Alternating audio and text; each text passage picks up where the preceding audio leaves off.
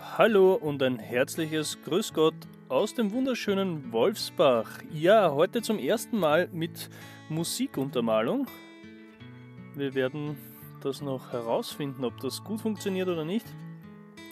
Ja, äh, ich möchte mich gleich zu Anfang nochmal sehr herzlich bedanken für die wunderbaren Kommentare. So viele, ich hätte ehrlich gesagt überhaupt nicht damit gerechnet, dass äh, so viele Kommentare kommen und äh, dass auch so einen, ich sage jetzt mal, so viele das Video auch gesehen haben. Dann noch ein sehr, sehr großes Dankeschön an den lieben Zordan. Äh, der Zordan hat, natürlich, hat ein Infovideo für mich äh, herausgebracht, äh, also ohne meines Wissens. Und äh, ich habe auch nicht schlecht gestaunt, als das dann heraus war. Also noch einmal ein ganz großes Dankeschön dafür. Äh, der liebe Opa hat das verschwitzt, dass ich anfange, Videos zu machen. Äh, auch an ihn ein schönes Danke nochmal, dass er natürlich das alles hier ermöglicht durch das Dreilbenland. Keine Frage. ja, was machen wir heute? Äh, ganz einfach und zwar, ich muss einmal äh, Wolfsbach in seinen Grundzügen euch nochmal zeigen. Äh, wir haben hier herüben die Kirche, äh, die Keramikbrennerei hier, äh, dann haben wir noch hier äh, das Glas, die Glasmanufaktur, den Friedhof. Dementsprechend bleibt hier noch relativ viel Platz. Aber wir haben dafür natürlich schon diverseste Vorschläge und diverse Sachen, die ich mir ausgedacht habe. Und die werden wir gleich mal hier auf diese Anschlagtafel hier äh, aufbringen. Aber zuerst müssen wir, glaube ich, noch mal kurz schlafen gehen. Äh, wir sind zwar alleine, aber trotzdem schlafen ist Pflicht. Das steht in den Grundregeln des Trelbenlandes. Immer schön schlafen gehen. So, dauert ja nur ganz kurz. So, sehr schön. Gut, also was habe ich mir da jetzt Hübsches ausgedacht? Und zwar eben nochmal für die Region hier auf der unteren rechten Seite. Hier hätte ich ganz gerne und zwar ein paar Sachen. Äh, hier möchte ich nämlich zunächst einmal äh, schreiben wir es in die Mitte, das macht ja nichts, äh, damit wir es nicht vergessen. Hoppala. So, rechts unten möchte ich gerne einen Marktplatz bauen. Ähm, sollte relativ viel Platz wahrscheinlich wird das einnehmen, das Ganze. Dementsprechend ich, belasse ich es jetzt einmal beim Marktplatz. Nur wenn es wirklich noch ausgehen sollte, ähm, was ich nicht glaube, aber wenn sie, sollte es sich wirklich doch noch ausgehen, dann werden wir hier noch den Redstone-Techniker äh, hinbauen. Ja, was, äh, was denke ich mir bei Redstone-Techniker? Äh, ich meine damit, äh, dass es ein, äh, zumindest ein Haus oder irgendeine Art äh, Einrichtung geben sollte in Wolfsbach, die sich äh, mit Redstone auseinandersetzt. Es ist zwar ein äußerst naturbelassenes Dorf, aber trotzdem äh, dürfen wir uns Technik natürlich nicht verweigern und so werden wir auch einen Redstone-Techniker brauchen. Gut, äh, weiter geht's mit der links unteren, mit dem links unteren Teil hier. Ähm, hier ist alles jetzt schon mal vorbereitet. Hier, hier, unten müssen wir noch ein bisschen terraformen, damit das dann natürlich schön Gras und so weiter äh, wächst hier. Da werden wir die Wüste begrünen, aber mit unserem grünen Daumen werden wir das schon schaffen.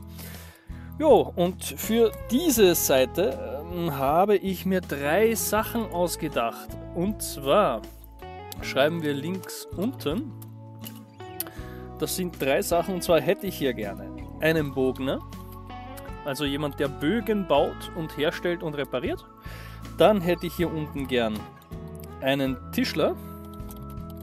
Äh, für, für, äh, für den Tischler haben wir sogar schon äh, einen Inhaber gefunden und zwar der Logan vom Blaubart hat sich gemeldet, dass er mit seinen Tischlerkenntnissen sehr gerne den Inhaber für die Tischlerei machen würde.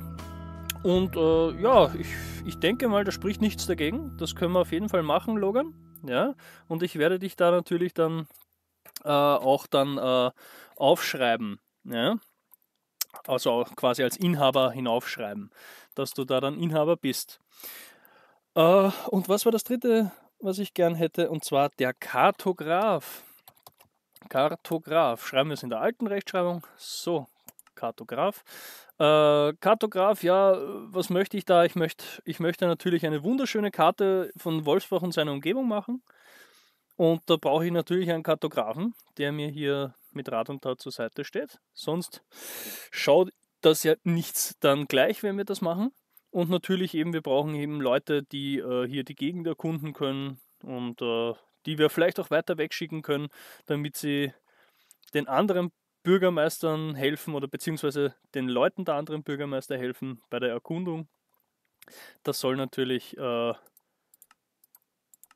soll natürlich dann eine Hilfstrupp werden und natürlich für Wolfsbach ein ganz eigenes schönes Kapitel. So, äh, dann haben wir natürlich noch zwei größere Sachen. Und zwar hier rechts oben haben wir, oh, mir ist gerade was aufgefallen. Äh, so, die Musik war kurz aus. Äh, und zwar nochmal für, so, also hier oben rechts, da waren wir gerade. Äh, hier dieses Gebiet, was ich mit der Maus gerade so nachfahre, äh, das ist auch ein größeres Gebiet, das noch nicht bebaut wurde, was auch noch nicht terraformt wurde. Ähm, schreiben wir mal rechts oben. Und für rechts oben, da werde ich mir den lieben Fasgard noch holen, weil er ist ja unser Spezialist auf dem Gebiet äh, Schmiedekunst. Und natürlich dementsprechend hätte ich dort gerne eine Schmiede. Und äh, zusätzliche Häuser für die Schmiede. Das heißt, äh, eine große Schmiede, wo jeder schmelzen kann. Und die zusätzlichen Häuser, äh, da hätte ich gerne, dass dann eben sich einer nur auf Rüstungen konzentriert, einer nur auf Waffen, einer vielleicht dann eben äh, nur auf äh, Handgeräte, wie eben zum Beispiel äh, eine, eine Axt, die man, die man im Wald braucht oder für das Feld, eine Hacke. Ja, da hätte ich dann eben gerne diverse Zweigdinge. Ja, und natürlich ist, bleibt vielleicht noch ein bisschen Platz für was Neues oder für was anderes, aber das werden wir noch sehen. So, dann ja, schreiben wir das hier darunter, dass das nicht aus den Augen gerät. Und zwar bleibt dann noch das Gebiet links oben. Ja, das ist ein riesiges Gebiet noch. Hier oben äh, geht bis hier runter. Äh, ja, da brauchen wir auf jeden Fall noch äh, Sachen. Und äh, für dort habe ich bis jetzt leider nur zwei Sachen, aber wir werden schon noch äh, gemeinsam rausfinden, was wir da alles bauen können. Und zwar hätte ich da gerne hier, und zwar, also schreiben wir natürlich wieder richtig hin. No, was ist denn hier los? Äh, oh, meine Tastatur macht, was sie will. Äh, was ist denn hier los? Äh, und zwar links äh, oben hätte ich gerne und zwar einen Förster. Ja, wir brauchen Förster, natürlich. Wir sind hier in einem Waldgebiet. Wir brauchen jemanden, der sich äh, für die Bäume natürlich hier einsetzt und das Ganze mitmacht. So, und dann, wenn wir diesen Förster haben, habe ich ja natürlich von Opa Zeran natürlich die Fichti-Zentrale übernommen. Und die braucht natürlich auch wieder ein Haus, also quasi die Fichtezentrale, eine, eine Organisation, die sich für den Fichtenbestand in Trelbenland einsetzt. Ja, und die residiert momentan noch äh, hier in meinem Rathaus. Und die möchte ich aber natürlich wieder mal ausquartieren, weil die quasseln mir schon die Ohren voll, dass ich noch mehr Fichten ansetzen soll. Aber das braucht man natürlich nicht. Es sind genug Fichten rund um Wolfsbach. Äh, ja, aber wir werden das schon irgendwie mit denen hinkriegen und lösen. Ja, werden uns ja nicht allzu viele Probleme bereiten, die Jungs von der Fichti-Zentrale. So, was gibt's noch Neues? Ähm, falls ihr das Video vom Opa gesehen habt, äh, da leuchtet jetzt so ein wunderschöner Stern über Sternsingen. Äh, ja, den habe ich gebaut für den Opa, also eben für Sternsingen auch.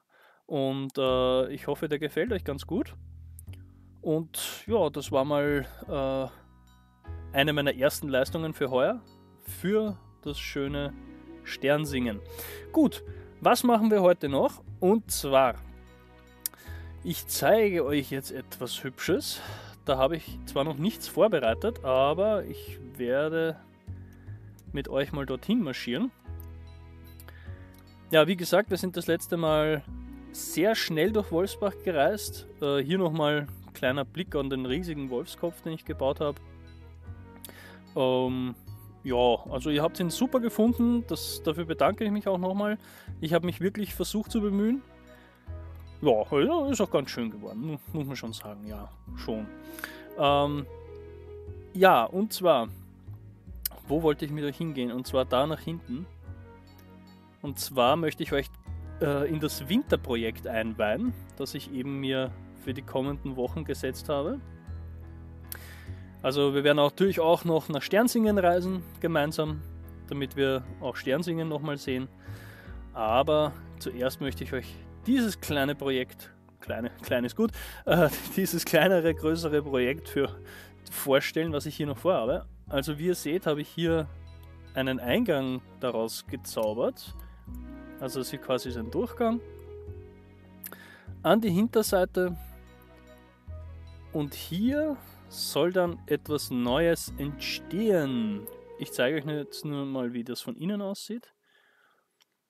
Ja, das sieht natürlich jetzt ganz schön äh, leer aus. Aber es ist, wie gesagt, es, es, hätte so viel Rohmaterial verschlungen, das auch noch innen zu füllen. Ähm, ich wollte es mir einfach nicht antun. Aber es kommt sowieso hier eine Wand davor. Das heißt, man wird das Ganze sowieso nicht mehr sehen. Und dann wird das schon. Ja? Ja, ja, der drückt sich schon wieder vor seiner Aufgabe. Mhm, ja, ja, so ist der Gärtner. Der will keine Erde hier verschwenden, auch keinen Sand. Jo, äh, und auch natürlich nicht so viel Zeit. Das würde natürlich auch dementsprechend Zeit kosten. Ja, ausgeleuchtet ist es, können ja keine Monster hier spawnen. Gut, äh, ich zeige euch das auf der, auf der Karte. Wir haben hier mal in Tomcats ein Ausgrabungslager. Und hier wird wahrscheinlich auf dieser kleinen Insel inklusive dieses Ausgrabungslagers, das ist Tomcats Bereich, äh, da habe ich euch auch noch etwas unterschlagen. Wenn wir nämlich diesem Weg folgen, dann kommen wir zum eigentlichen Hafen von Wolfsbach, ja, der hier bei der Kirche hinaus führt und dann hier herunter. Ähm, ja, äh, hier in diesen Hafen hinein, damit ich natürlich auch mit einem offenen Meer verbunden bin, der hier beim Ufermann vorbeiführt. Äh, ja, denn hier innen bei meinem kleinen äh, Gebiet bin ich ja nur mit dem Vulkan verbunden und dementsprechend nur mit vier Ortschaften, also meiner selbst, Wolfsbach, hier drüben mit Hunsgrab, Moorbrück und natürlich mit dem Hexenhafen. Wenn man hier hineinfährt, kommt man zum Hexenhafen hinein zum lieben Zordan. Ja, dementsprechend äh, wird hier, um Projekt zu kommen, wird hier eine kleine, nicht allzu große Festung entstehen, wo der Wolfskopf eben den Eingang bildet. Äh, das Ganze wird eine Art Berg werden, rundherum. Also ich werde das hier in, noch in einen riesigen Berg verwandeln oder wird gemeinsam besser gesagt. Und darauf wird dann noch eine kleine Festung entstehen. Die muss nicht allzu groß sein. Äh, mir geht es eigentlich mehr darum, dass ich keine große Militärmacht bin und natürlich bis äh, die Hundsgraber hier ihre Militärmacht herausschicken oder der liebe Delfino oder der liebe Zordan mir Seitendeckung geben können im Fall der Fälle, muss ich natürlich meine Bürger irgendwie beschützen. Und das werde ich dadurch hier schaffen. Hier kommt noch ein Fallgatter, ein ordentliches, natürlich mehrere, damit wir wirklich hier alle Feinde abblocken können momentan. Und dann ist äh, für den Moment Wolfsbach sicher. Das ist mir natürlich wichtig und dementsprechend äh, werden wir das auch hier gestalten. Das ist auf jeden Fall einmal äh, die Ankündigung natürlich fürs nächste Video, weil dann werde ich mit euch äh, hier anfangen, das zu bauen. Einmal den ganzen Terraform äh, Sachen anstarten. Da werden wir viele Kisten benötigen, viel Schaufeln. Und, und, und wir werden Erde uns holen müssen. Da werden wir den lieben Tomcat fragen. Und apropos Tomcat, wenn wir hier schon vorbeilaufen. Der liebe Tomcat hat bei mir einen Baufehler gefunden. Und zwar hier. Und hier hätte ich ja eigentlich noch so einen zwei Stufen hinklöpeln sollen. Das ist jetzt der Block der Schande ein Baufehler entdeckt vom lieben Tomcat. Danke nochmal, Tomcat, für diesen tollen Baufehlerfund. äh, ja, ich werde ihn in Ehren halten, deswegen auch dieser Sandstein. Ja, er wird mich erinnern, zukünftige Projekte besser zu begutachten, bevor ich sie jemandem zeige. Äh, ja, Ich habe natürlich dann gleich alle anderen Brücken überprüft. Es passt soweit. Aber ja. Danke nochmal, lieber Tomcat. Aber zu diesem Zeitpunkt habe ich mich ja schon revanchiert. Ich habe mir eine große Fichte gebaut, eine schöne Tanne, mehr besser gesagt keine Fichte. Und die wird er mit euch in seinen nächsten Folgen natürlich dann auch schmücken. Gut, soweit. Ähm, dann haben wir das mal. Und wie gesagt, wir werden das Ganze dann beim nächsten Mal erst so richtig anstarten. Ja? Und da deswegen werde ich das Video auch an dieser Stelle jetzt schon mal beenden. Ja, wieder da, wo wir angefangen haben, beim Rathaus vom Wolfsbach, damit wir auch langsam aber sicher die einzelnen Gebäude äh, werdet ihr noch näher kennenlernen mit mir. Wie gesagt, wir schauen uns das sowieso im Laufe der Zeit noch genauer alles an und wie das halt alles zustande gekommen ist und wie ich das alles gemacht habe, werde ich euch noch erzählen, auf jeden Fall. Und bis dahin wünsche ich euch noch alles Liebe. Es war mir wie immer ein Volksfest mit euch und äh, bis zum nächsten Mal. Tschüss!